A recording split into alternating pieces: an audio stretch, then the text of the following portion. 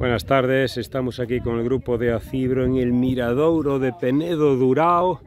Espectacular, uno de los más bonitos del Parque Natural de los Arribes del Duero. Estamos en zona portuguesa y aquí vemos este gran mirador con una longitud extraordinaria. Y la presa de Saucelle ahí debajo.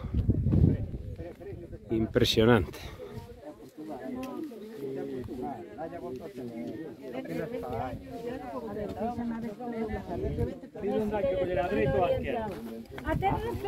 Aí, aí, temos que colher agora.